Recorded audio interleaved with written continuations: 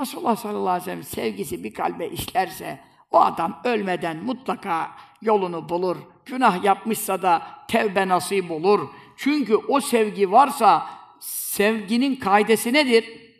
İnnel muhibbe limen yuhibbu muti'u. Seven sevdiğine ne yapar? İtaat eder. Seven sevdiğinin sözünü dinler. Seven sevdiğini kızdırmaz. Seven sevdiğini üzmez. Kaide budur. Aşkın kuralı budur. Bir adam bir kıza veya bir kız bir adama aşık olduğunu iddia edip de onun dediğini yapmadığı görülmüş müdür? Görülmüştür. Niye? Çünkü sahte aşıktır da onun için. Hakiki bir aşıkta böyle bir şey varit olmuş mudur? Leyn radiyet Leyla bi katli fil heva fe bima tehva ve ehlen bima tarda. Mahmud Efendi Hazretlerimiz çok okurdu bu beyt. Şiir kitabında yazdın mı bunu? Efendimiz'in şiirlerinde de yazdım diye belki de hatırlıyorum. Çünkü Efendiden çok duymuştum bunu.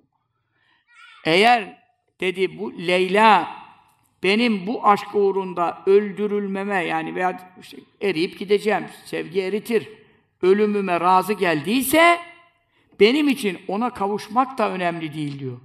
Onun istediği olsun. Yani ben ona kavuşamasam da o istiyorsa ki kavuşamasın, ölsün.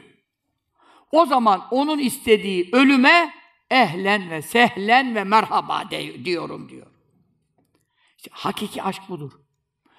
Bir aşık maşukasının isteğine karşı sevdiği diyorsa ki ben onunla kavuşmayı istemiyorum, o benim aşkımda ölmesini istiyorum. Ondan daha mutlu olacağım. Böyle bir manyaklar da olabilir yani.